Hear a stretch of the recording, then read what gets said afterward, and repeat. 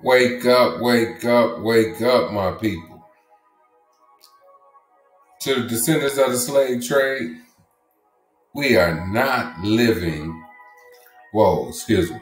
To the descendants of the slave trade, if you are not living with the understanding of the Most High's words, stop saying you are blessed and highly favored man, you know, you look at these brothers and them brothers you bump into in the streets. Oh, brother, I'm blessed and highly favored.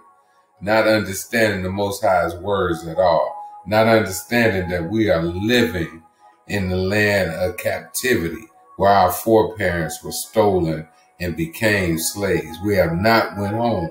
There's no way that we could be blessed and highly favored living under this captivity where we're being governed by the same people that enslaved our foreparents. There's no way.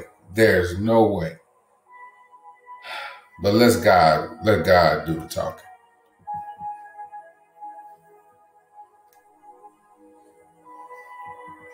Romans 3 and 4.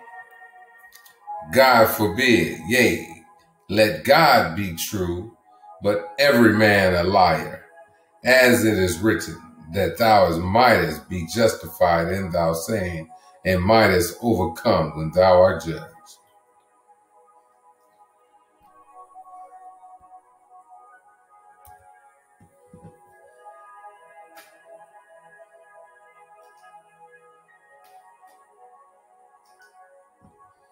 Wake up, my people.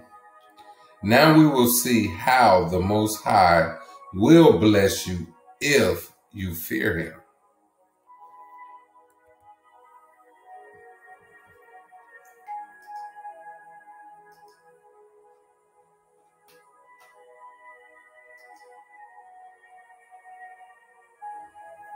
Psalms 3, 34 and 9. Oh, fear the Lord, you his saints, and there is no want to them that fear him. We wouldn't even want anything. We wouldn't be desiring anything. We just got to come back and fear our God so he will come and receive us.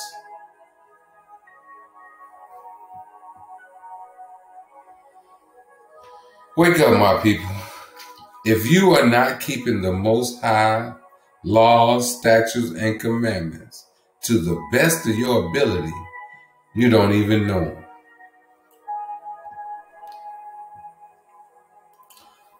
First John 2, 3 through 4. And hereby we do know that we know him if we keep his commandments. He that say, I know him, and keepeth not his commandments, is a liar, and the truth is not in him. I ain't making this up. This is in the New Testament. So I'm not making this up. Wake up, my people.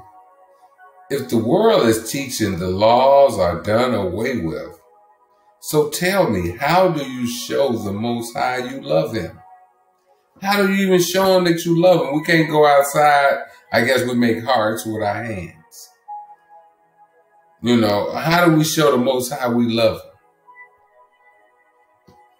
First John 5 and 3. For this is the love of God, that we keep his commandments, and his commandments are not grievous. I mean, it's simple, plain. I mean, I'm not making this up. This is what the Most High wrote, had written down for us to know how to come back to Him.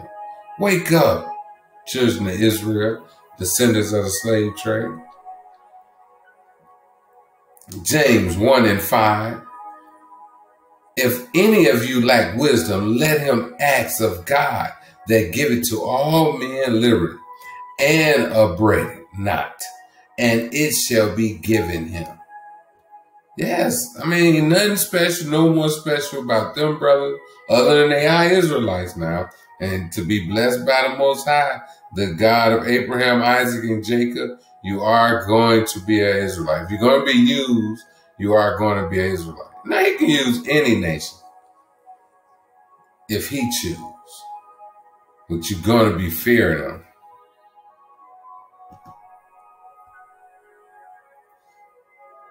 Wake up, my people.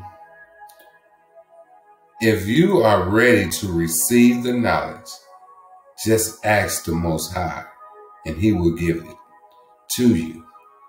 But you have to go back like a newborn babe, reading His words with brand new eyes. You got to go back as if you reading it for the first time. You got to wipe out what you have learned before and allow the Most High to just show you His word. Just show you His words and watch how He show them to you. Watch how He show them to you. Isaiah 28, 9 and 12. Whom shall he teach knowledge? And whom shall he make to understand doctrine? Them that are weaned from the milk and drawn from the breast. For precept must be upon precept, precept upon precept, line upon line, line upon line, line a little here, line upon line, here a little and there a little. For with a stammering lips and another tongue will he speak to his people, to this people, excuse me.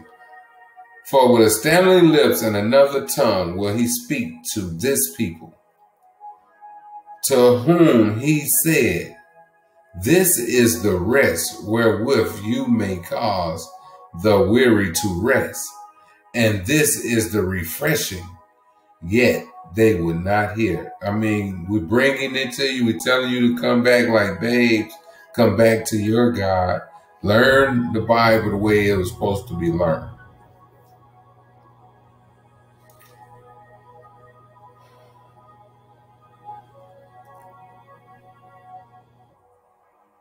Let's hear. Wake up, my people. Let's hear what the saints should be reading to the descendants of the slave trade. Luke 4, we're going to be reading 17 through 19. And there were delivered unto him the book of the prophet Isaiah. And when he had opened the book, he found the place where it was written, The Spirit of the Lord is upon me, because he have anointed me to preach the gospel to the poor. He has sent me to heal the brokenhearted, to preach deliverance to the captives, and recovering a sight to the blind, to set at liberty them that are bruised to preach the acceptable year of the Lord. We got to get prepared, descendants of the slave trade. He's coming back for us. Our time is up for being up under this bondage. So we don't know the day nor the hour, but we know every day we are one day closer. It's time to go back home. Wake up, my people to the descendants of the slave trade, we are the Israelites. We are still living in the land that our ancestors became slaves. Wow. Deuteronomy 28, a great place to start reading. Shalom to the Israelites.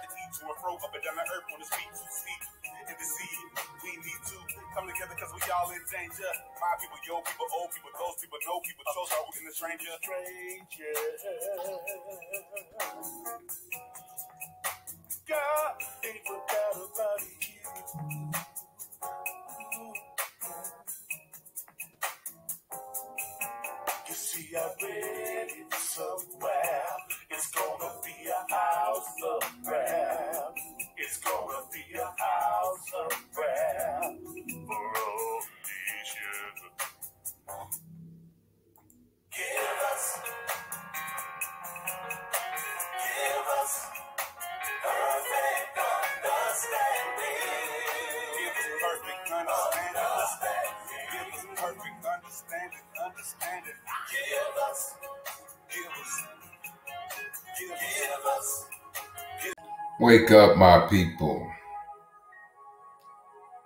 If you don't know your nationality, you don't know your purpose. If you don't know your purpose, it's impossible to feel the things in life that you are put here to accomplish. Nigger, colored, African American, black, no, we are the Israelites.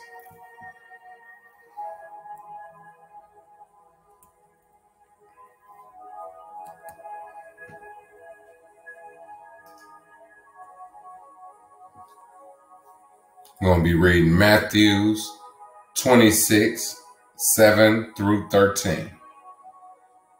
Matthews 26, 7 through 13.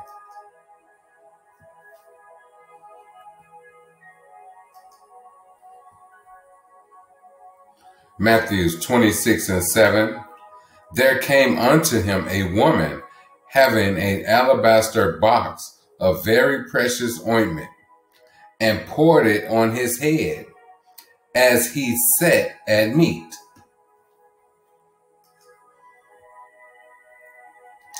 Matthews 26 and 8.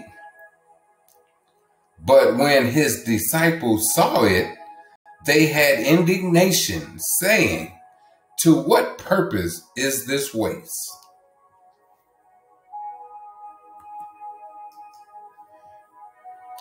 Matthew 26 and 9. For this ointment might have been sold for much and given to the poor. Matthew 26 and 10. When Jesus understood it, he said unto them, Why trouble ye this woman? For she hath wrought a good work upon me. Matthews 26 and 11. For you have the poor always with you, but me you have not always. Matthews 26 and 12. For in that she has poured this ointment on my body, she did it for my burial. Matthews 26 and 13. Very I say unto you, wheresoever this gospel shall be preached in the whole world, there shall also this that this woman have done be told for a memorial of her. Wake up, my people. Come back to the Most High the God of Abraham, Isaac, and Jacob, to the descendants of the slave trade, we are the Israelites. We are still living in the land that our ancestors became slaves. Wow. Deuteronomy 28, a great place to start reading. With that, we say hallelujah.